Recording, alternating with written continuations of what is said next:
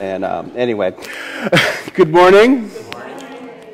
And if we mess up with the video again this week, for those of you who are watching at home, good morning. Because it was sideways. And, you know, it's funny, you can have the same setup and then suddenly it goes sideways. But uh, anyway, uh, you know, I feel like today um, is sort of like a wedding vow renewal. Now, we did one a while back. Um, we actually, it's not been too long ago.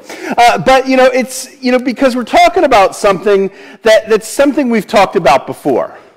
And we're going to, we, we kind of launched in, I don't know if they, they threw up the thing yet. Uh, we're really kind of concentrating on gather, grow, and engage, which are three words we use a lot to describe what we feel like we need to do as a church, not the church universal, but they are church things. And it's weird because when you start to talk about the word gather, which most of us, when we think about gather, we think about the fact that we're gathered today. We often call this the worship gathering. And so it's like you're talking to people in church about the importance of church.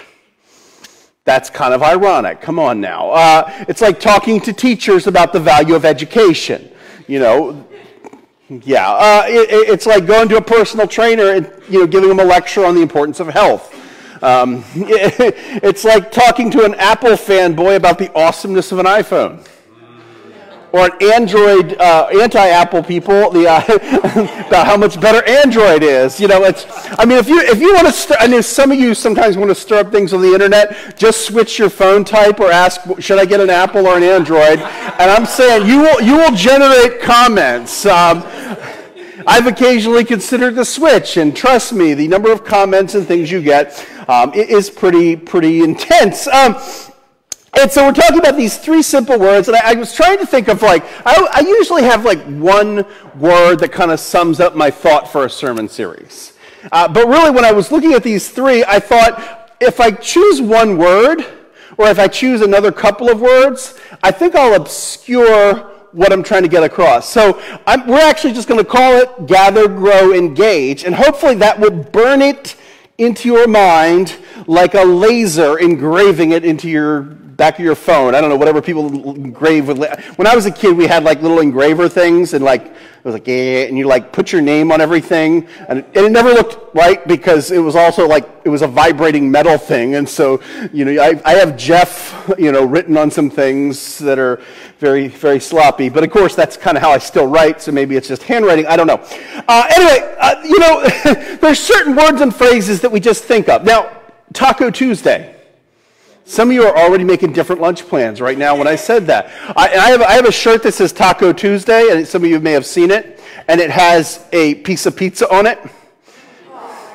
And people are like, Taco Tuesday. And they're like, but it's not Tuesday. And then they're like, and that's not a taco, but really it's kind of the same. It's a bready surface. There's meat and cheese. I'm just saying. It's the Italian taco. But, uh, you know, I, I lo- most of us like the idea of Taco Tuesday. I was reading this article this week, and hopefully you'll see where we're getting to the content and the meaning of the sermon in a moment. But, uh, you know, the, the term Taco Tuesday is actually trademarked.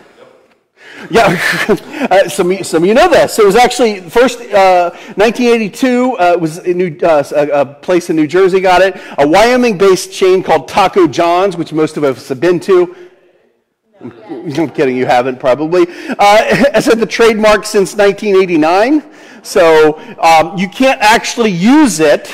But here's the thing: LeBron James is trying to trademark Taco Tuesday. Now, I I, am not anti LeBron James, but when I think of LeBron James, I'm not thinking tacos. Is it Tuesday? And I'm not sure what, what they're, I mean, maybe, well, he just got some publicity out of it. I don't know. Uh, but, but, you know, no one hears Taco Tuesday and thinks of LeBron Holdings. Um, know, and then it kind of, the, the, article had some interesting things like, you know, Nintendo uh, got a trademark on it's on like Donkey Kong which makes sense. Although it had been, despite it was decades old before Nintendo got you know a successful trademark. Now, but now they have the trademark. So now, if you believe it is on, it cannot be on to the amount of Donkey Kong would be on, unless you want to get a letter from Nintendo. Uh, so there, there's these words and phrases that have meanings, but there's also words and phrases that lose meaning, right? Like how many of us say, you know, hand me a Kleenex? Anyone? Do you mean a Kleenex brand tissue, or do you mean just a tissue of some sort? Or you know, some of you are older. Remember when we used to make photocopies? You'd Xerox something. Didn't matter if it was a Xerox machine. Some of you are laughing. Some of you, some of you remember like the paper you press, the carbon copy paper, and you had to press real hard. Yeah. Um, anyway, uh, some of us are slightly older than others of us. Uh, but you know, here's the thing. There's three words, but I think you can either hear them, maybe you'll see them on our literature, different things, and you kind of, kind of, it's easy to sort of forget the meaning, but it, really is kind of the roots of what we're trying to do um, as a church. Now, Jesus, here's the thing Jesus didn't actually say them. Jesus didn't say, Thou shalt gather, thou shalt grow, thou shalt engage. But, but hopefully you'll, you'll see, because he spoke English, and it was always Elizabethan English. We know that. The English was good enough for Jesus. Okay, those of you don't know, that is totally joking.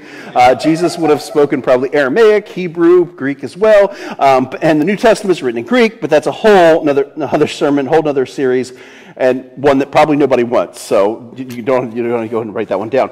Um, Ultimately, though, Jesus came to save us, eh, eh, but part of that is Jesus then forms this new community that we call church. Uh, and it means we're going to see life differently, we're going to live life differently, we act differently to other people's. And so we see this in, um, in Ephesians chapter 2. Uh, and I know some of you thought I was going to Acts, didn't you? give it time, give it time. Uh, but in Ephesians chapter 2, uh, starting in, in, in, verse 11, it, it says, uh, it says, starting verse 11, don't forget that you Gentiles used to be outsiders. Now, uh, Gentiles, if you're not Jewish, you're a Gentile. Uh, it's kind of how it goes. Uh, used to be outsiders. You were called uncircumcised heathens by the Jews who were proud of their circumcision, even though it only affected their bodies and not their hearts. Now, Paul's saying, don't forget. Now, and it's kind of, he's, he's, he's saying, you know, hey, re- remember your life before Christ. This is a new thing. You've kind of been newly invited uh, into the kingdom. And, uh, you know, and a lot of times, you know, it's, the Israelites were often told to remember, remember. And so, you know, um, you know, kind of sometimes it's easy i think the longer you're in a church or in your in faith to kind of not remember those things. And paul's saying hey encourage. Now uncircumcised heathens. You do not have to be a greek scholar to realize that's probably you know, a pejorative term. Like you don't you don't like come up to your wife go hi you or everybody wouldn't go anyway. That's it. But I mean you wouldn't your husband hi you uncircumcised heathen. You know it's not a, a, a sort of a, a, term of endearment. It's, it's slang. Uh, you know it, it's kind of uh, you know a harsh thing. You know it says they're proud of their circumcision. Now most of us you know it's awkward when you start talking about circumcision in a church, right? But but uh, the Bible, the Old Testament, the Hebrew Bible has a lot to say about it. If you don't uh, study you know circumcision, and I could give you all kinds of cool facts and history to it, but when you, when you study the New Testament, and I, have been, you know, lucky enough to be able to teach some courses on this, uh, you know, and it, it, it's not on the actual how to do it, but, but the, the, the history and the theology behind it. There, there's this, you know, it, it becomes, it's this sign that Abraham is given Uh, and it becomes the, the mark, literally, of the Jewish people and in a, in a Gentile culture. It's really what separated them from the Greek speaking culture. And it becomes this big difference. And so it becomes sort of the outward sign uh, of what it means uh, to be Jewish. It's kind of like a wedding ring. Um, some of us actually, actually they're not here. I was going to say happy anniversary,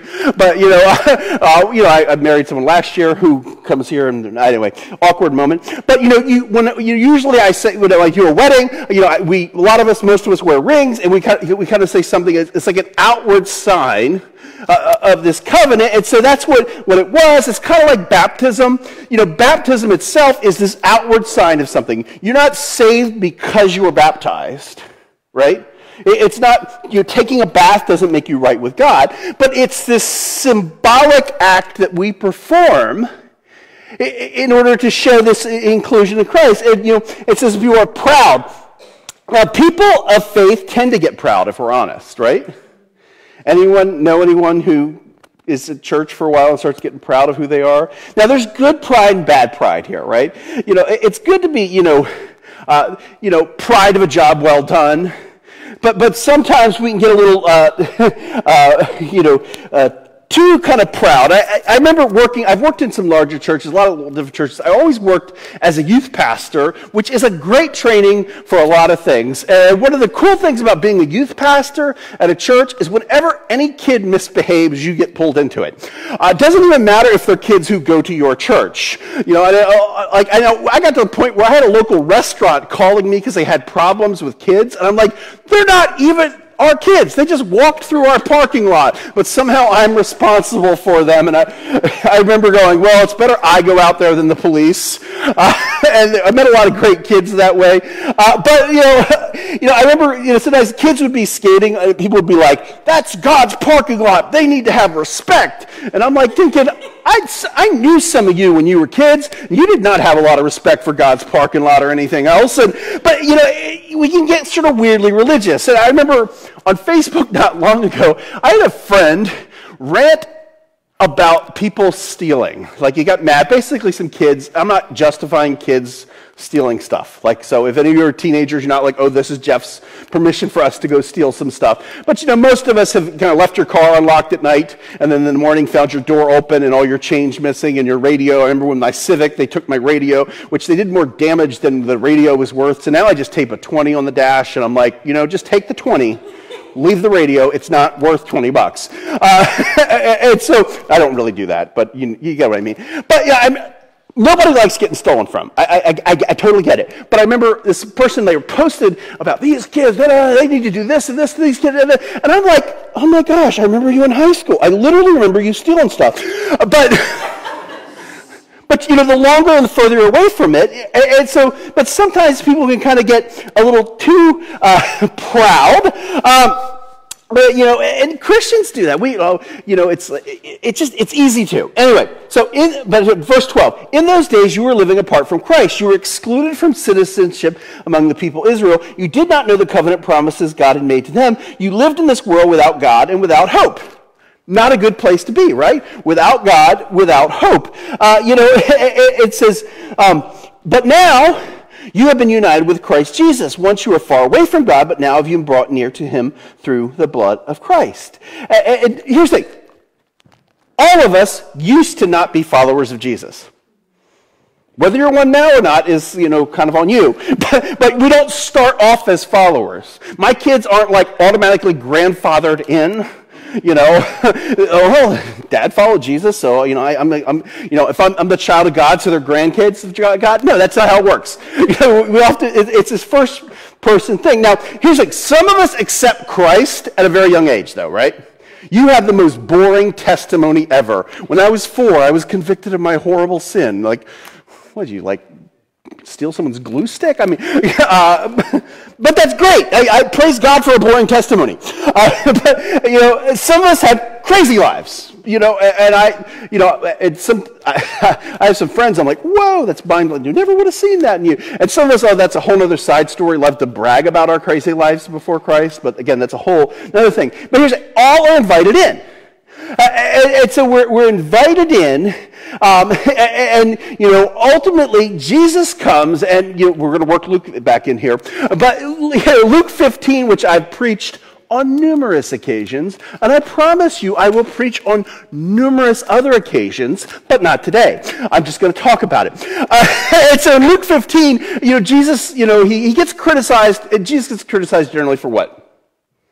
Hanging out with the wrong people and everything. And Jesus, Jesus talks in Luke 15. He tells three stories. He said, you know, if you had a, if you had a hundred lost sheep and one, are gone, one gets lost, what do you do? You go out and find the sheep. You know, you, you leave the 99, you go to the one. And he, he tells the story. He goes, hey, woman had you know, 10 coins. She lost one. She swept the house. She cleaned everywhere. And then she was excited and told the neighbors when she found it, right? Because it was something of value and she found it. You know, you may have 10, but if you lose one, you want that. If you have, you know, uh, 10 times $100,000 and you lose 100, you're still looking hard for that 100, right? Unless you like, you're just rolling it or something, but the rest of us are, you know, looking for that 100. Uh, you know, and then he tells the story which commonly called the prodigal uh, son. And he has, the man has two sons, one runs off and is lost, Although there's all kinds of cool levels of stuff with that son who stays because he appears to be lost even though he stayed home. But, you know, the whole point of the story is God's waiting out, waiting for this son to come back. And then there's this, you know, rejoicing and partying. And ultimately, God comes because he wants us to have a relationship with him. God, God longs for us to, to be in a relationship with us. And you start off kind of, we, we go our own way, we do our own thing. I love that song we, we sang earlier, The Reckless Love of God. Now, some of us might be going, well, I don't like the word reckless because this or that, and that's okay. But I, I love the, the, kind of, I think of reckless as, I've done a lot of reckless things in my life. Anyone? Like, I remember, like, we were on some really steep hills with a bike one time, and it was like, you know, my, my brakes were like, couldn't stop me, so I just let go of them and just, you know, reckless. Unfortunately, I was reckless that day and didn't wreck. But you know, there's this. You know, I remember sledding as a kid. Or we didn't have. It seemed like the hills were big, but we're in Delaware, so the hills. We, but you know, you kind of. I remember a skateboard accident where I was reckless, but I was unfortunately wreckful that day. Um, but it's kind of this this wild abandon uh, of love of God that, that pulls us in, and so that's the kind of God has this love for us because God wants us to have this relationship with Him. It says 14, For Christ himself brought us peace to us. He united Jews and Gentiles into one people when, in his own body on the cross, he broke down the wall of hostility that separated us.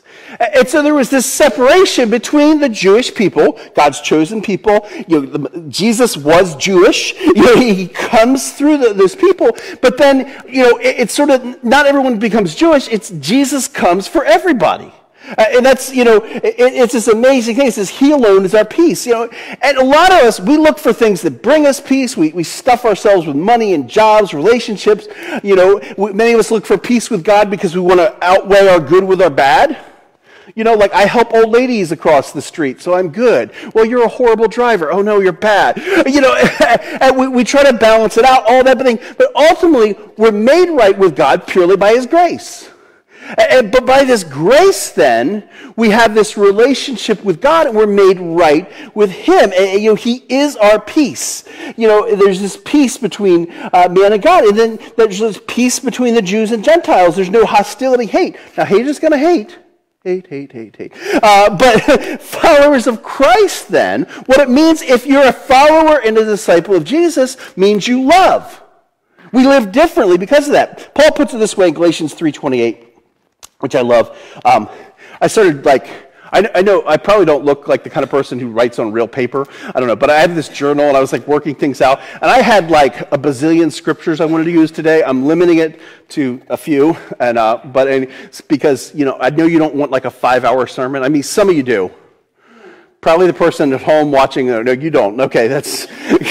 Is she speaking for everyone? No five-hour sermon. Okay. People are like, you can preach a five hour sermon, but I'm leaving it 47 minutes. Um,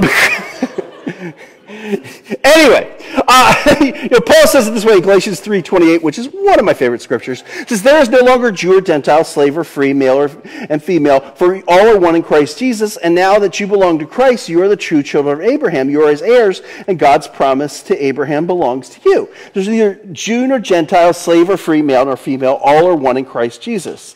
You know, and, and these are big divides in the ancient society. It, it, it, Jesus, you know, Paul is saying, hey, these things don't matter anymore. You know, and, and all that separates us, the things that, that we divide, because we do that, right? Like it's like in high school, you have different groups. I don't know if they still have it, but it's like you have the band geeks, you have the people who study, you have, you know, the, the jocks, and, you know, and, you know, there's, I don't know, there's probably a bazillion different groups now. It's, I don't hang out with kids anymore. I have kids. I'll let them tell me later. But you know, we kind of naturally sort of divide ourselves and look different and do different things.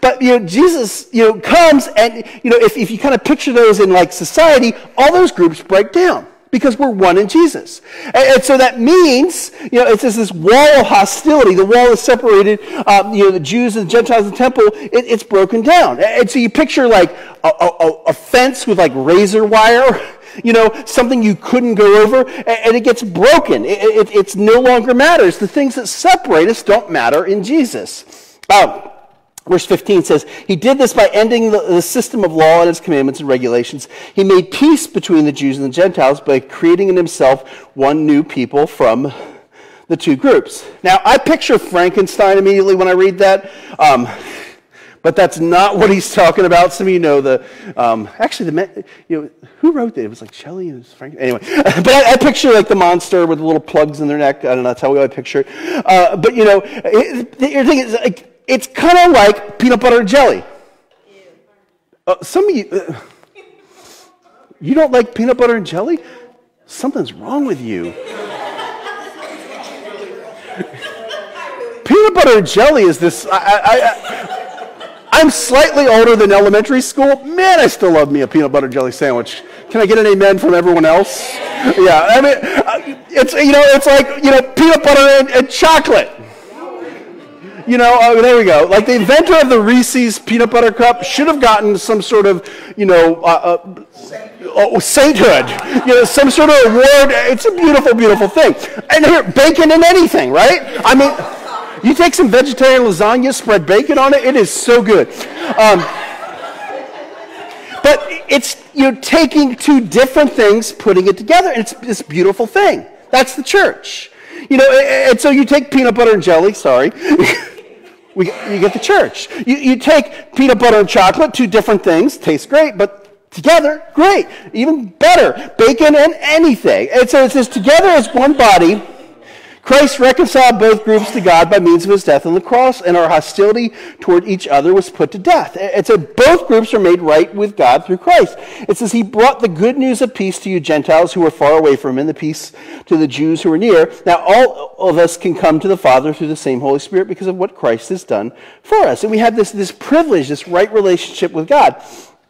It says that. So now you are no longer strangers and foreigners. You are citizens along with God's holy people. You are members of God's family. Together, we are his house, built on the foundation of the apostles and the prophets, and the cornerstone is Jesus Christ himself. We are carefully joined together in him, becoming the holy temple for the Lord. Through you Gentiles are, through him, you Gentiles are also being made part of this dwelling where God lives by his Spirit. And so all these things that divide us. Now, we live in a divisive time in America. Can I get an anti amen? Uh, would be like, be women? I don't know. I don't know. I was trying to think what anti amen would be. I, I, remember when I was first like, kind of new to the like church thing, and I was like, I noticed people would shout out things like hallelujah and amen. And I was trying to figure it out. And so I remember the pastor was preaching about like all this horrible stuff going on. And I'm like, amen! And I'm like, uh, kind of from the looks, I was like, okay, I didn't get it right. I don't know. When am I supposed to do the amen things? Anyone else ever, you know, okay, just me.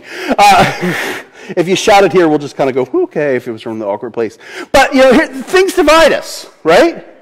And, and that's why I encourage you to vote, but we won't really talk politics here. We'll let you kind of do that on your own, and sometimes the men's group will have some interesting discussions. But the, all kinds of things divide us. Now, when I think of people. Don't do it. I'm just saying, someone's wearing Eagles jersey. Someone in the back's wearing a Steelers jersey. Uh,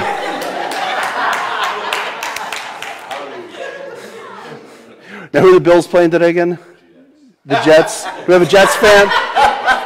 Do we have a Jets fan? Anyone? Anyone? Okay, no Jets fans here. Um, Benny, Benny, are the Jets here? Uh, anyway, uh, anyway. Justin and I, because I, I, usually use an example for this, have a few things anti in common.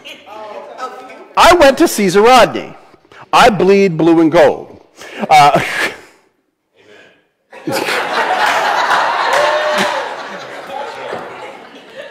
Justin, he's a Dover guy. If you're not from here, that's a slightly big rivalry. Although at CR, it's now become like um, you know, in the middle school, we're trying to tell them Dover's the rival. You got to hate Dover. No, sorry.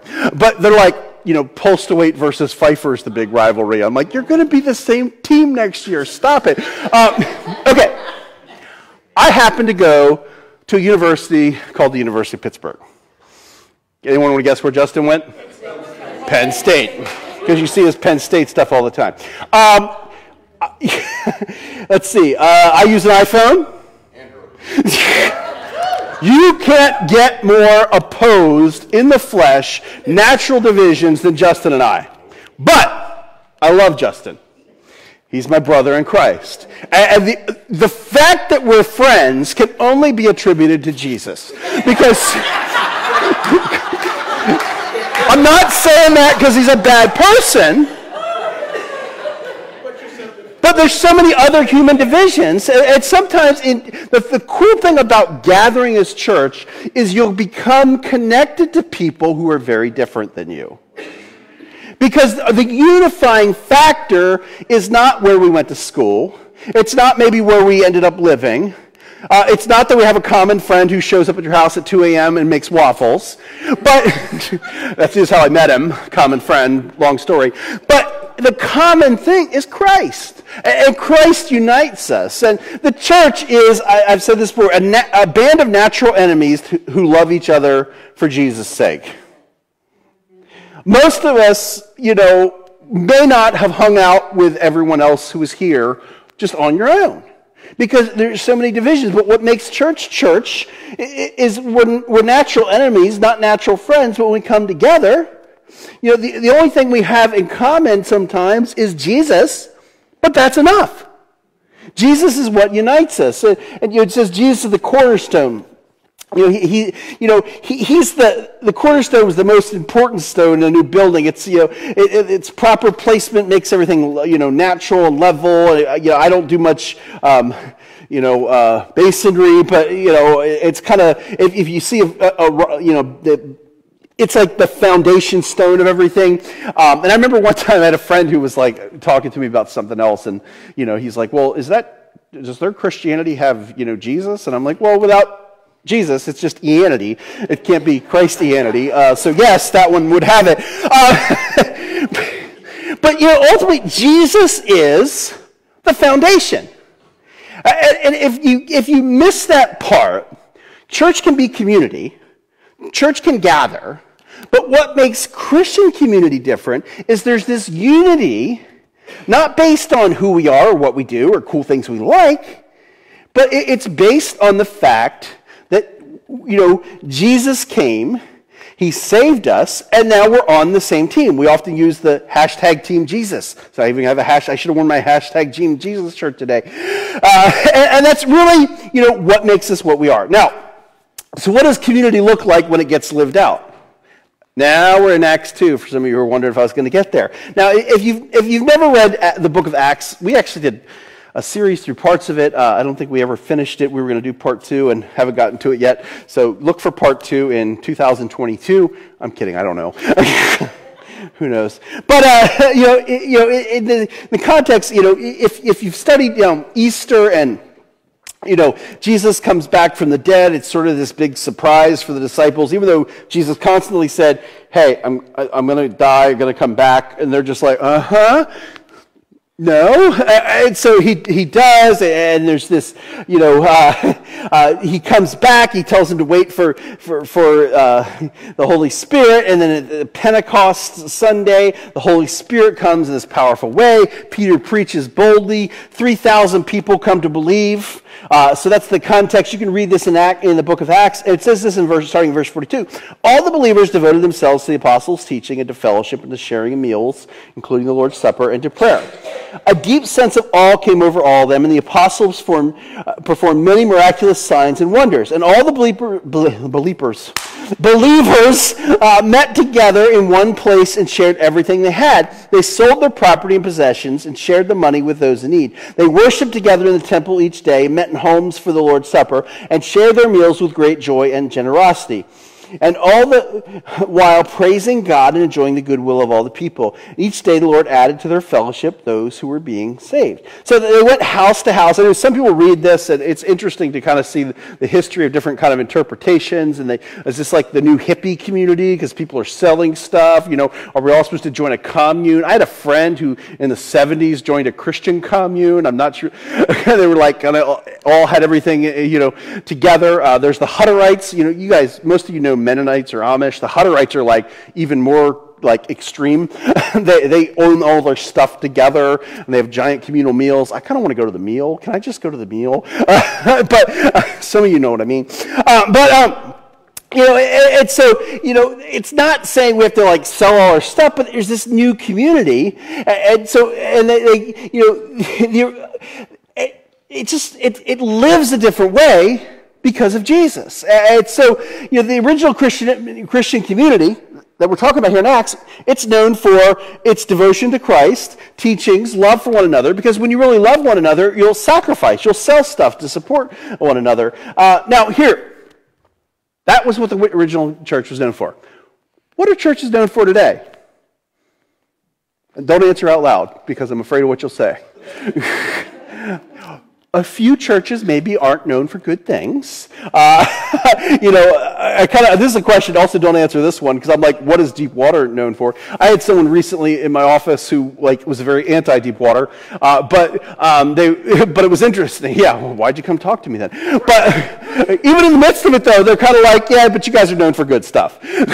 because, you know, honestly, we, we do our best as a church, and this isn't like Pat Deep Water on the back day or anything, but we really, we try to live out this Jesus stuff, right? And so, you know, this week, you know, we fed the homeless three times. You know, we uh, Thursday, Friday, and Saturday. I guess we're just like a late, long weekend people. You know, it's like we, we do things to, to feed the hungry. Uh, you know, I, not this week we didn't do it, but other weeks we've gone and helped people who have been, you know, injured, couldn't do something. We, we, we do stuff for people. We, we, whenever we see a need, we try to fill it. And we don't always post pictures on Instagram of everything because you, obviously you don't want to embarrass people. On any given week, we're delivering food to people who are hungry. Uh, and so there's a lot of good we do. And, and I think those are important things uh, that we do because ultimately we need to show love for one another. And that means people in the church, but also means people who aren't a part of the church. And John 13 says this Jesus speaks, says, A new command I give you, love one another as I have loved you, so you must love one another. By this, everyone will know that you're my disciples if you love one another.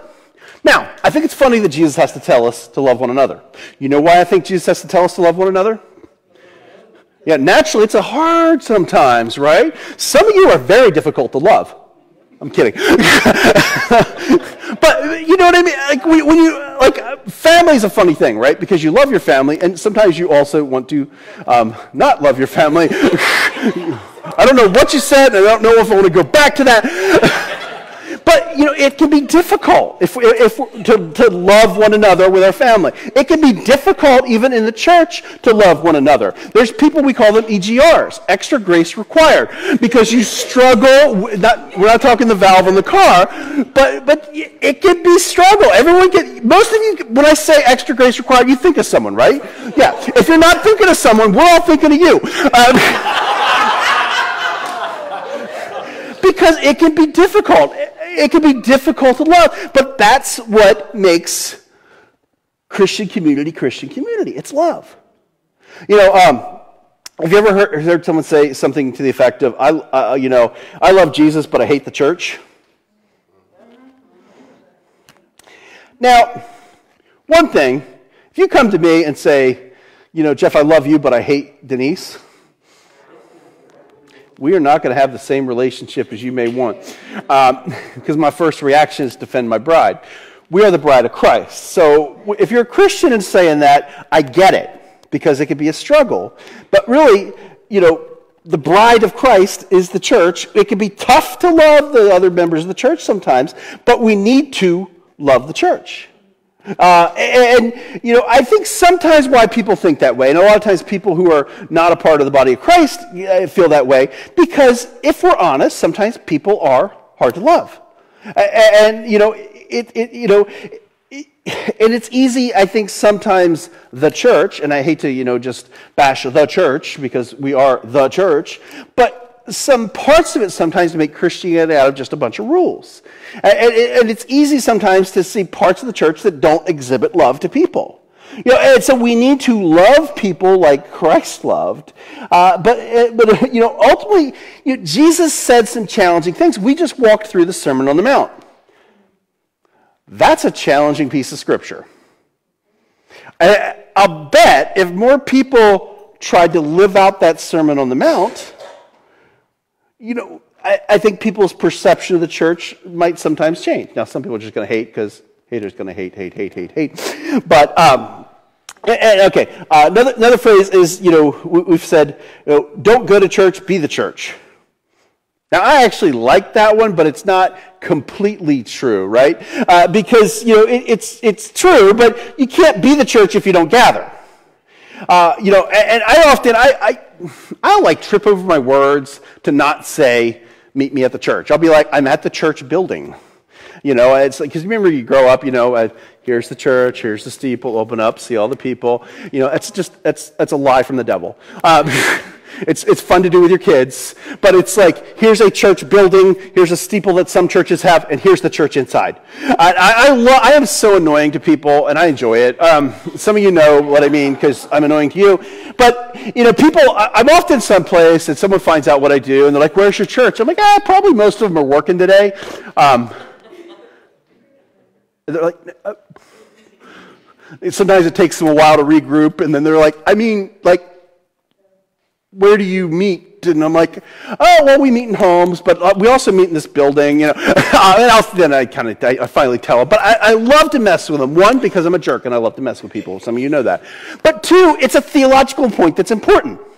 Uh, you know, when, when the kids were little, we never said we're going to church. We might say we're going to have church, you know, I don't know. We might say we're going to meet with the church, but we'd, we'd be very careful because, and I love this building. Anyone like this building? Hallelujah, amen. Pass the plate around again. Uh, you know, we, we like this building. We, we like where we meet. And places are important, but what makes the church is not the building, it's people. Uh, you know, it's, you know, uh, so church is this gathering thing. And, and, truth is, I think a lot about this. Um, thinking about, you know, where we find community um, in, in, our society. It used to be kind of your neighborhood, you felt community. Anyone live in a neighborhood where you're all friends? That's kind of odd now. Like maybe you know, I remember as a kid. Um, I, I, specifically remember a friend of mine. Um, some of you know him, but uh, I, I, remember. Um, and I actually did her funeral years ago. And so I remember, I, I told this story. I remember coming out one time into my kitchen, and my neighbor his mom, uh, well, she was my neighbor too, she was just sitting at the kitchen table. And I'm like, oh, didn't know you're here. She's like, yeah, I knocked on the door. Your mom didn't answer. Um, so I'm just sitting down. And I'm like, okay, well, I'll tell her you're here. Uh, That's weird today, right? Like uh, some of you are like freaked out already. You're like, if you just came out in your neighbor's but we had the kind of neighborhood growing up where we were in and out of each other's houses. Some of you were older might remember that kind of thing. Again, weird now that we like are locking our door, deadbolting it, and like making sure who's outside, who's outside. But you know, but that kind of community, you, you, I think we used to have it. You know, in our neighborhoods, it's a little harder now. Uh, a lot of us find it around sports, right? Now, some of you are wearing a particular jersey. Actually, we got two of them today. My, my son wanted me to wear the Steelers jersey, but I didn't want to divide on, on the day where we're trying to talk about unity. So I, I guess I could have worn generic football jersey, but then someone wouldn't like football. We'd get a fight over that. But uh, here's the thing. you know, sports are crazy because you will, you will high five or hug a total stranger because they're wearing the same jersey as you. You've got community and you don't even know the person. Uh, you know, I think a lot of people who are in the military, we have a lot of military folks. There's a community that you have in the military. You, you know, you've, you know, it's, it's funny, like, you know, I'll find out, you know, we, like we have like a, a, guy who's, who's a Marine and then we have another guy who's a Marine. I'll usually introduce them and they're like, oh yeah, you know, this, this camaraderie. And then they pick on the Army guys who pick on the Army. No, uh, but we can't pick on them. So, um, you know, it's, it's some of this like frater- frater- fraternities. That's that's like a new, that's apparently a co-ed fraternity, a fraternity. Um, you know, fraternity, sorority, that's what I was trying to say. You know, we, you know some people find connection in there. I, I didn't do that, that frat thing. Uh, but, you know, uh, you know, family, you know, uh, I think work, sometimes you have connection with people at work. Sometimes you hate the people you work with. I think a lot of times gyms, you, you, find a lot of community. It's just funny. I was trying to work out the other day. I need to get earbuds or something. Everyone wanted to talk to me, and I only had like 35 minutes to like lift. I'm like trying to talk while I'm lifting and doing. I'm a talkative person, which I know it's probably my my problem. But you know, you see certain people in the gym all the time, and then you kind of become friends with them. And eh, you know, it's easier sometimes to go to the gym if you're meeting somebody. You know, sometimes it's like a coffee shop you hang out in. There's different places. Like there's this one guy I see him around sometimes. I'm like, where did I know that guy? I'm like, oh yeah, I used to sit next to him in a coffee shop. I don't actually know his name. and so there, there's all these things that, you know, places we find community. Uh, you know, all these are good. We should love our neighbors. We should love those at the gym. But we also need to make sure that church is a place where people can find community. Yeah, and so, you know, church is a place where people can connect with, with, with other people. Um, most of us, I think, we naturally desire relationships. Um, you, ever see the movie Castaway with Tom Hanks? That was pretty strong. Y'all are some Tom Hanks loving people. Uh, uh, you know, but, um, you know, I, I, I, like the movie, but it's kind of funny. It, you know, anyone see the red Jeep memes for the for Dorian, the you know tornado? Uh, there was one with like Tom Hanks on the beach and everything. Uh, but you know, a lot of people, you know, they have uh, you know, uh, kind of you know, uh, most of us would love to someday, like live on a beautiful um, tropical island. It seems like paradise, right? But, you know, if you watch the movie, one, it's a small island, so maybe that's what drove him nuts, but also there's nobody else there. So he's like talking to a, volleyball, which is like a deep theological thing, not talking to the volleyball, but the fact that we need community. We're made to be, that's why he risks himself. All he needed there was a dentist, and he would have been fine. Uh, if you saw that scene with the ice skate, oh. Uh, anyway, you know, uh, it's, you know, and most, you know, anyone ever go to the movies? Okay, I, I, know you go. You post every time you eat or go to the movies. Uh, I love you though. Uh, but okay, anyone go to the movies alone? A couple people. Okay. Who prefers to go to the movie with somebody else? Probably most of us. Which is funny because you shouldn't talk in the movie theater, right? but we still go to the movies with somebody. We talk afterwards. I, but I, I, I think it all speaks to we have this natural want for relationships, connection. And, and so, you know, uh, you know, we're, and I think part of this, we're just, we're made to be in relationships. And, and, you know, we're made as the church, and again, not the church building, we're talking about people, to be in connection and community with other people. Uh, and what makes Christian, you know, community different is ultimately Jesus is at the center of it. You know, you can go bowling to go bowling. I like to go bowling. Uh, I even have my own bowling ball. I found it floating in the lake, um, which is a whole other story. uh, you know, you, you can go to the gym and connect with people, and that's great. And, uh, and, you know, but Christian community, what it means is it's centered on Christ. It's the thing that unifies us. It's a, being a community means sometimes you're friends with people who aren't like you. And that's what Christian community is. Uh, being part of the church gives opportunity for real, purposeful friendships more than any other organizations. God set this thing up. You know, you can play football by yourself, but it's more fun being on a team. You know, you, you can play tuba by yourself, but it's more fun if people come watch the band, right? Or you have a whole band. And, and so when we talk about gathering, too, there's purpose to why we gather. Uh, you know, it's a lot like, you know, anyone ever go on a cruise ship? What do you do on a cruise ship? Eat, eat and then rest from eating so you can eat again. Uh, that's pretty much, it's just, you know, gluttony on a boat. I don't know. but, you know, on a cruise ship, there's kind of like, you just kind of do whatever you want. You know, and you don't, your real job is to have fun and enjoy yourself. And so I think sometimes people kind of think of Christianity as like a cruise ship. You just come, enjoy the buffets, and hang out. I think Christianity is more like a battleship. Now, I've been on a battleship. I've played the game Battleship, uh, but I've never been on a real battleship. But, you know, I, I, picture from what I know, and some of you have been on maybe a battleship, you know, there's purpose to a battleship. They're there for battle. Everyone's got a job and a function in, in order to, to do what they're doing. And that's, I think Christianity is a lot more like the battleship. We have this purpose to our community, and we're going to be kind of nail, hitting that the next couple of weeks as we, as we work through this, you know. Uh, but, you know, what, it, you know, together, when I say that word, what does it mean for you? I don't know. Um, you know, I think some, you know, for some of us, gathering can be just the thing that keeps us alive. Not physically alive, like we're going to take your kidney or anything, but there's, uh, you know, there, there's a story of this pastor goes to this guy's house, and, you know, guy hasn't been to church in a while, and uh, so the pastor goes over, and the guy's like, I'm not going to talk. I'll make the pastor say something. So the pastor sits down, and the pastor's like, Well, I'm not going to say anything. So they just sit there in silence for a long time.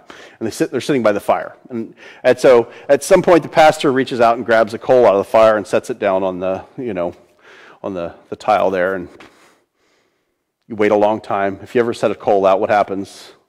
Eventually goes out, goes black. He picks it back up, puts it in the fire. It glows red. Pastor gets up, starts out the door. The guy's like, I understand, Pastor. I'll be back next week. Uh, in that, our fire sometimes burns out when we're not with others. And so it's, it's a challenge sometimes, if we're honest. We can be real here. It's a challenge to be a Christian sometimes, right? I still think it's easier than the alternative, but it's a challenge to keep that fire burning. And part of what church is, is this fellowship where, you know, it helps us burn brighter together. Um, and some of us aren't going to make it without the others. Um, and some of us need to be here, and again, I'm preaching church to people at church, in order to encourage others in the faith. Uh, you know, we, we have this responsibility to love and care for others and pull them along in this relationship with Christ. And, um, you know, the Sunday gathering is really, it's important to come together uh, and connect.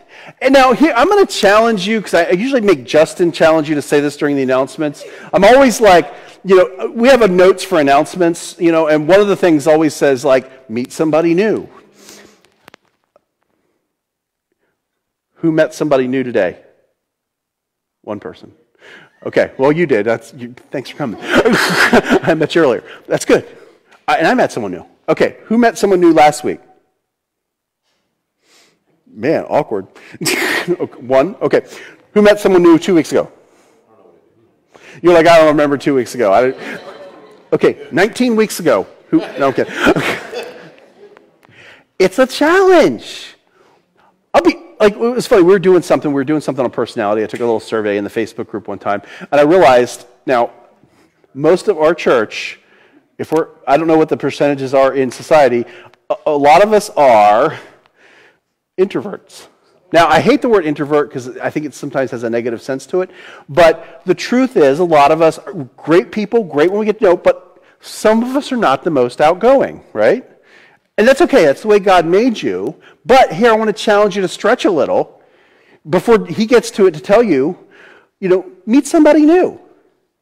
Sometimes people are visiting the church, uh, you know, uh, this church that we do, and they're like, man, I, I didn't really, you know, connect with anyone. And they feel like, does anybody like me? But it's really, they just didn't get reached out to. While we were preaching, somebody came in the back door. None of you noticed them. And then they turned around and left. Anyone notice that? That was today during the sermon. I couldn't because it would be awkward if I called him out. but you know, it, it's awkward. And I'm, if you if you're listening online, please come back.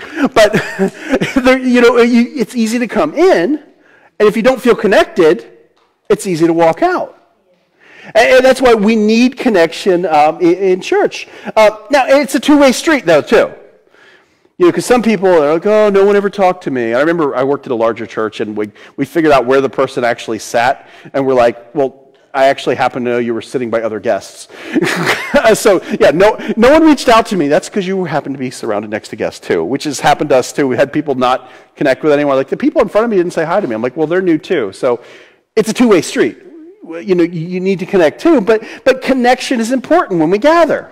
Well, um, um you know, and we, and we create all kinds of opportunities. I'm working on the new, uh, the, the small groups. You know, we have community groups, we have discipleship groups, we have different ways to try to help people connect. And honestly, some of us, even some of us are listening today, you know, we have people who are right now stocking shelves in a, in a store uh, listening to the sermon because they can't go to, to, to, to this at this time, you know. But if you can't gather here, you need to create other opportunities and places to gather. And so we have, like, for instance, the men's Bible study. And I cooked breakfast this week, so there was scrapple. Uh, some of you that excited, some of you are not excited by that. but, but, you know, we, we need connection. Um, uh, you know, you may not know everyone, but you need to know someone. And so I challenge you, meet somebody new. Uh, find community, create community, uh, make the most, make every opportunity for community. Uh, you know, and ultimately we want to be who God is calling you to be in a relationship with Him. And let's be the church that God is calling us to be as we build relationships and connect with other people. You know, as the worship team comes back to play, uh, I to encourage you, we have these connection cards each week. Uh, you know, feel free, uh, fill this out if you